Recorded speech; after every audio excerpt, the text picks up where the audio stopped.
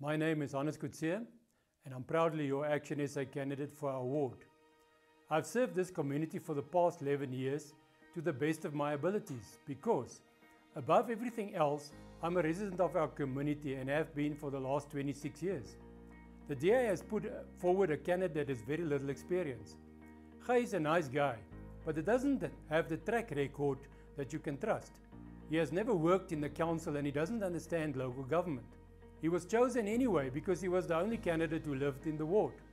The DA thinks they can own your vote and that whoever they put forward, that you will vote for them anyway. But ask yourself one question about the DA. Where was the DA in this ward when they took over the city of Tshwane in 2016?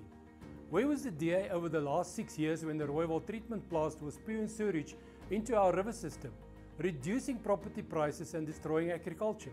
Where was the DA since 2019 when the Pyramid substation burned down and caused countless outages and left us in the dark? I can tell you, they were not with me at the substation, working through the night with the municipal technicians to restore the power outages. I can confidently say that the DA Mayor Randall Williams, Helen Zille and John Steenhuisen have been in this ward more in the past three weeks than they have been in this ward in their entire lives.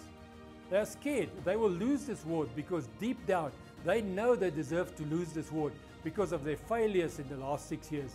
On the 4th of May, you will be asked to make a choice. When you do, remember who has been there for you the whole time and who arrived a short time ago when they wanted your votes. Thank you.